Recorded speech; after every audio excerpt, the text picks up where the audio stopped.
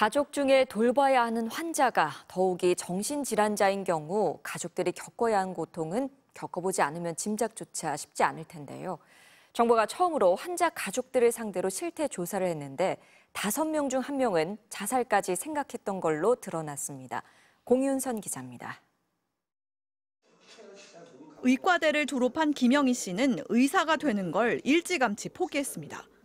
고등학교 때 조현병 증세를 보이기 시작한 두 살 터울의 친형을 30년 넘게 혼자 돌봐야 하는 처지이기 때문입니다. 24시간 대기입니다. 저는 이제 눈 뜨면 케어 시작, 눈 감으면 케어 끝입니다.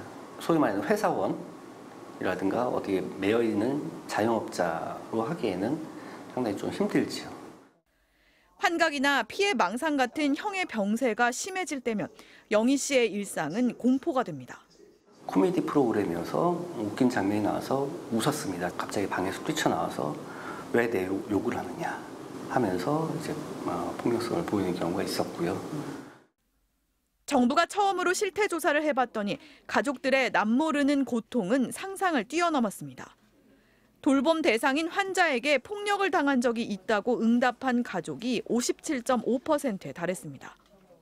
3명 중 거의 2명꼴로 환자를 돌보는 부담이 크다고 했고 우울증 같은 정신질환에 걸린 비율도 전체의 38%나 됐습니다.